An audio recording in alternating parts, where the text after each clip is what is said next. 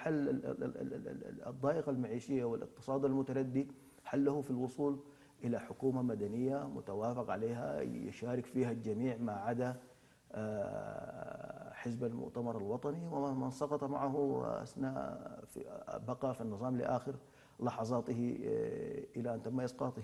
المؤتمر الوطني أم المؤتمر الشعبي؟ المؤتمر الوطني.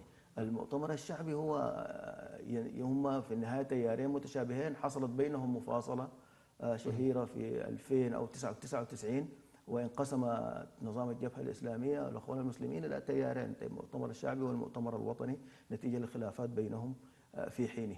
فبالتالي يعني لا بد لا بد أن يصل الناس إلى نتيجة يعني حتى آه، الحديث عن عن عن إقصاء آه، بعض الأطراف من المشاركة في الثورة أو التخوين الذي تمارسه بعض ال- ال- المكونات المناوئة للانقلاب لرفقاء لهم في الطريق يرون أن الحل برؤية مختلفة عن رؤية رؤيتهم. هذا هذه يعني برضو واحدة من التعقيدات التي قد تواجه المرحلة المقبلة ولكن لا بد من حل هذه الأزمة بأي شكل كان. طب أحد قيادة المؤتمر الوطني آه،